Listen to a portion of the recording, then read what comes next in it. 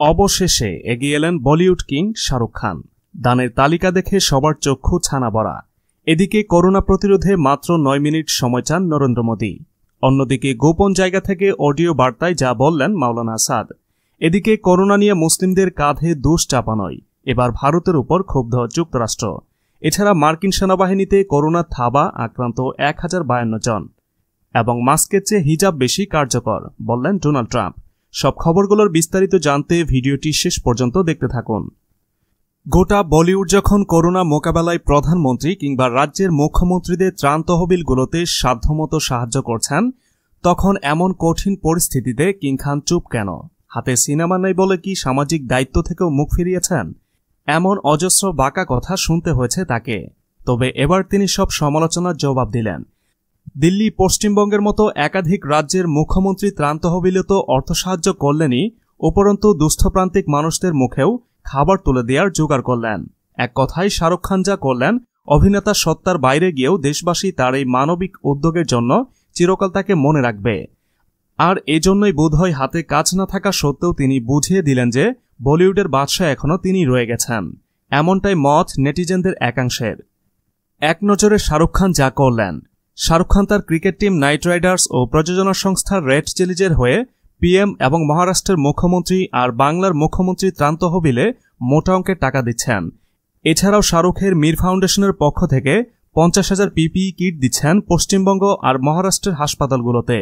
উপরন্তু আলাদা করে আরও অর্থ সাহায্যের ব্যবস্থা করেছেন যাতে আগামী দিনগুলিতে বাংলা ও মহারাষ্ট্রের হাসপাতালগুলিতে যাতে তাদের ভেন্টিলেটরেরও আকাল না হয়। এছাড়াও একসাথ নামের একটি সংস্থার সঙ্গে যৌথ উদ্যোগে মীর ফাউন্ডেশন করোনার জেরে বেকার হয়ে যাওয়া মুম্বাইয়ের প্রায় সাড়ে পাঁচ হাজার দিন এনে দিন খায় পরিবারকে রোজ দুবেলা খাওয়ানোর দায়িত্ব তুলে নিয়েছে। অন্তত এক মাস খাদ্য সরবরাহ করা হবে তাদের। উপরন্তু দুই হাজার প্লেট খাবার রোজ পৌঁছে যাবে হাসপাতাল আর জরুরি পরিষেবার সঙ্গে যুক্ত মানুষদের কাছে। যার সমস্ত ব্যয়ভার বহন করবেন শাহরুখ খান নিজে। এখানেই শেষ নয়।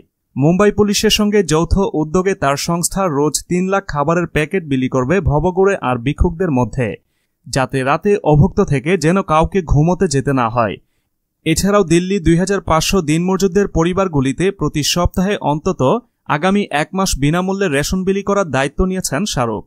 উল্লেখ্য, বলিউড তারকারা প্রত্যেকেই নিজেদের সাধ্যমতো সাহায্য করলেও এর আগে কিন্তু শাহরুখের মতো বহুমুখী সাহায্যের প্রস্তাব কেউ দেননি। শুধু বললেন এই গোটা ভারত একটা পরিবার।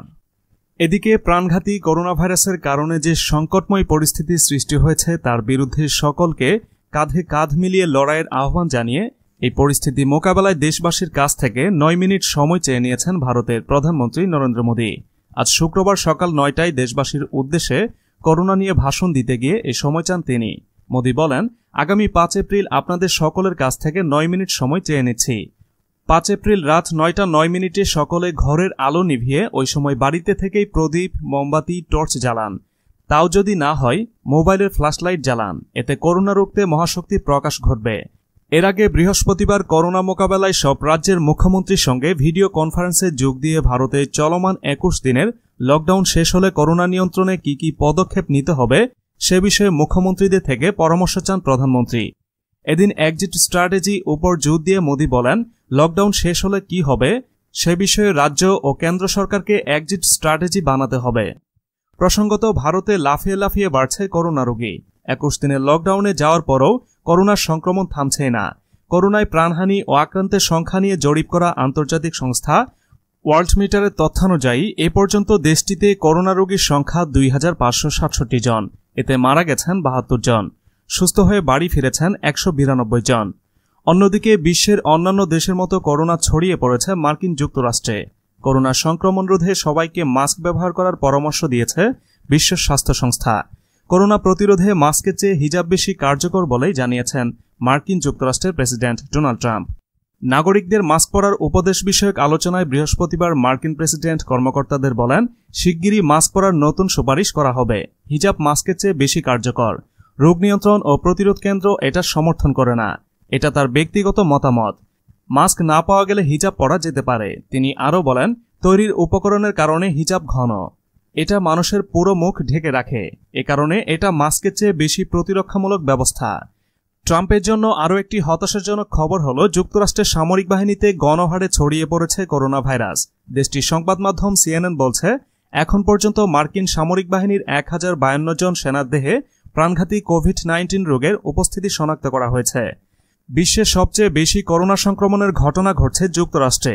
এর আগে দেশটির সামরিক বাহিনীতে প্রথমবারের মতো করোনায় আক্রান্ত হয়ে এক সেনা সদস্য প্রাণ হারান। তারপর থেকে এর ব্যাপক বিস্তারের আশঙ্কা তৈরি হয়েছে। সিএনএনের প্রতিবেদন অনুযায়ী যুক্তরাষ্ট্রে প্রতিরক্ষা মন্ত্রণালয়ের অন্তত এক হাজার সাতশো বায়ান্ন জনের দেহে করোনা ভাইরাসের উপস্থিতি শনাক্ত করা হয়েছে। তাদের অনেকে হাসপাতালে চিকিৎসাধীন রয়েছেন। মৃত্যুর আশঙ্কা তৈরি হয়েছে অনেকের। এর আগে যুক্তরাষ্ট্রের বিমানবাহী রণতরী থিউডোর রুজভেল্টের নাবিকরা করোনা আক্রান্ত হয়েছেন বলে দাবি করেছিলেন জাহাজটির ক্যাপ্টেন। নাবিকদের করোনা ভাইরাস থেকে বাঁচানোর অনুরোধ করে প্যান্টাগনকে চিঠি দিয়েছিলেন তিনি। বিশ্বজুড়ে করোনা ভাইরাসে আক্রান্ত রোগীর সংখ্যা এখন দশ লাখ ছাড়িয়েছে। এর মধ্যে প্রায় আড়াই লাখই যুক্তরাষ্ট্রে। দেশটিতে গতকাল একদিনে পঁচিশ হাজার মানুষ কোভিড নাইন্টিন রোগে আক্রান্ত হন। মৃত্যুর সংখ্যাও ছয় হাজার ছাড়িয়ে গেছে সেখানে। এদিকে নয়াদিল্লির নিজামুদ্দিন মসজিদে তাবলিক জামায়াতের এক অনুষ্ঠান থেকে বেরোনো কয়েকজনের শরীরে করোনা ভাইরাস শনাক্ত হওয়ার পর বিষয়টিকে ঘিরে সংখ্যালঘুদের উপর দুশ্চাপাতে ভারত সরকার যেভাবে উঠে পড়ে লেগেছে, তাতে বেজায় ক্ষুব্ধ হয়েছেন যুক্তরাষ্ট্রের ধর্মীয় স্বাধীনতা বিষয়ক অ্যাম্বাসেডর অ্যাটলার স্যাম ব্রাউনব্যাগ। তিনি দোষারোপের খেলা বন্ধ করে করোনা ঠেকাতে প্রয়োজনীয় পদক্ষেপ নেয়ার আহ্বান জানিয়েছেন নয়াদিল্লির প্রতি। গত বৃহস্পতিবার দুই এপ্রিল ব্রাউনব্যাগ বলেন, ভারতে কয়েকদিনে করোনার সংক্রমণ বৃদ্ধি পাওয়ার জন্য কোনো একটি নির্দিষ্ট সংখ্যালঘু সম্প্রদায়ের মানুষকে সরকারের দায়ী করা উচিত নয়। আমরা জানি এই ভাইরাসের প্রকৃত উৎসস্থল ঠিক কোথায়।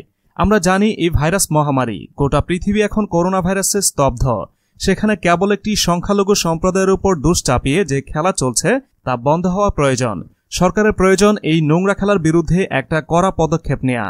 গত এক এপ্রিল ভারতীয় সংবাদ মাধ্যম জানায়, লকডাউন ঘোষণার আগে নিজামুদ্দিন মসজিদে ১৩ থেকে পনেরো মার্চ অনুষ্ঠিত তাবলিগের ওই অনুষ্ঠানে অংশ নিয়ে অন্তত একশো চৌত্রিশ জনের শরীরে করোনা ভাইরাস শনাক্ত করা হয়েছে। বিশ্বের বেশ কয়েকটি দেশের অনেক নাগরিক ও ভারতের বিভিন্ন প্রান্তের কয়েক হাজার মানুষ পাঁচটি ট্রেনে ভ্রমণ করে ওই তাবলিগে অংশ নেন। এরপর থেকে ভারত সরকার নিজামুদ্দিন মসজিদের ওই জমায়েতকে করোনা সংক্রমণের হটস্পট হিসেবে চিহ্নিত করে আসছে। যদিও ভারতে করোনা এসেছে জানুয়ারিতেই, কিন্তু উগ্র হিন্দুত্ববাদী মতাদর্শে বিশ্বাসী বিজেপি সরকার এজন্য ধর্মীয় প্রচারকের বিরুদ্ধে ব্যবস্থা নেয়ার হুঁশিয়ারি দেয়। তাদের এই দুষ্টাপনার কাণ্ডে উস্কানি দেয় ভারতীয় কিছু সংবাদ মাধ্যম। কিছু সংবাদ মাধ্যমে ফলাও করে বলা হয়, করোনা ভাইরাসের এই পরিস্থিতিতে তারা জমায়েত হলেন কেন?